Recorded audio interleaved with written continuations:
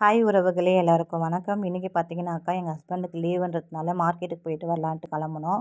கா மார்க்கெட்டில் போயிட்டு நாங்கள் வந்து அஹ், வாங்கிட்டு வெளியே வரும்போது ஒரு பாட்டி வந்து மா நாவல் பழம்லாம் வித்துட்டு இருந்தாங்க. அவங்கக்கிட்ட ஒரு கால் கிலோவுக்கு நாவல் பழம் வாங்கிக்கணும். அரை கிலோவுக்கு வந்து நெல்லிக்காவும் வாங்கிட்டு வீட்டுக்கு வந்துட்டோம். இப்போ வந்து என்னென்ன வாங்கணும் அப்படின்னு பார்க்கலாம் வாங்க. இப்போ வந்து பேக்லேருந்து ஒன்று ஒன்றா எடுத்து நம்ம வெளியே வச்சுக்கலாம். இது எல்லாமே நான் வந்து கூர் கட்டி விற்பாங்க இல்லைங்களா? அந்த கடையில் தான் வாங்கினோம் அங்கே நல்லா ஃப்ரெஷ்ஷாகவும் நல்லாவும் இருந்தது. கம்மியான விலையிலையும் நம்மளுக்கு வந்து நல்லா ஒரு இதுவாக கிடைக்கும். பூண்டு மட்டும் பார்த்திங்கனாக்கா நாங்கள் வந்து மளிகை கடையில் வாங்கிக்கணும். இப்போ வந்து நம்ம எல்லாத்தையும் ஒன்று ஒன்று எடுத்து வெளியே வச்சுக்கலாம். இது எல்லாமே பார்த்தீங்கன்னாக்கா இருபது ரூபாய் இருபது ரூபாய் அப்படி தான் கட்டி வச்சுருந்தாங்க.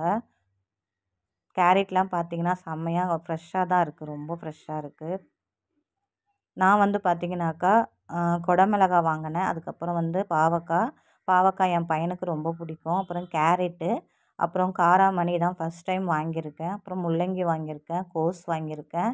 அப்புறம் பார்த்திங்கனாக்கா பூண்டு. அப்புறம் பார்த்திங்கனாக்கா கொத்தமல்லி கருவேப்பிலை புதினா பச்சை மிளகா அப்புறம் இஞ்சி வாங்கியிருக்கேன். கூடவே நம்ம வாங்கின ஸ்வீட் கார்ன் மட்டும் முப்பது ரூபா. அப்புறம் பார்த்திங்கனாக்கா நாவல் பழம் நெல்லிக்காய். இது எல்லாமே நான் வந்து கூர் கட்டி வச்சுக்க கடையில் தான் வாங்கினோம் எல்லாமே பார்த்திங்கன்னா இவ்வளோ ஃப்ரெஷ்ஷாக இருக்குது பாருங்கள் பாவக்காய்லாம் பயங்கர ஃப்ரெஷ்ஷாக இருக்குது